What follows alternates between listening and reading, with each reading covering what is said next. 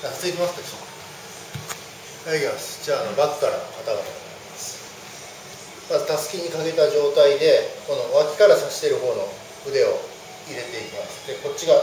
なるべく同じ首のところにしてこの足外してそして倒れます。倒れたらこの足抜いてこっち側に出して